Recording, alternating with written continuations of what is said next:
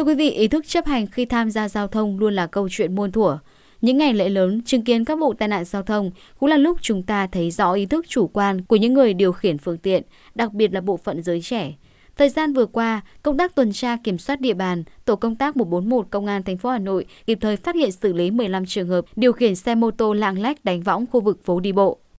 Đêm 30 tháng 4 và dạng sáng ngày 1 tháng 5, Phòng Cảnh sát Giao thông Công an thành phố Hà Nội triển khai hai tổ công tác công khai và 4 tổ hóa trang 141 trên địa bàn quận Hoàn Kiếm, Hai Bà Trưng để kiểm tra, kiểm soát, xử lý các đối tượng thanh thiếu niên điều khiển xe mô tô chạy tốc độ cao, lạng lách đánh võng, nẹt bô, dù ga, gây dối trật tự công cộng. Qua làm việc, tổ công tác đã bắt quả tang 15 thanh thiếu niên điều khiển xe mô tô, xe máy, lạng lách đánh võng, rú ga, gây náo loạn khu vực phố đi bộ thuộc địa bàn quận Hoàn Kiếm. Điển hình dạng sáng ngày 1 tháng 5, tổ công tác Y3 141 do Trung tá Chu Văn Sĩ, đội phó đội cảnh sát giao thông số 3, phòng cảnh sát giao thông công an thành phố Hà Nội làm chỉ huy, hóa trang tuần tra kiểm soát quanh khu vực địa bàn quận Hoàn Kiếm. Vào thời điểm trên, tổ công tác phát hiện hai nam thanh niên không đội mũ bảo hiểm, điều khiển xe máy biển kiểm soát 19AC009XX lạng lách đánh võng bốc đầu trên đường Bạch Đằng nên đã mật phục bám theo.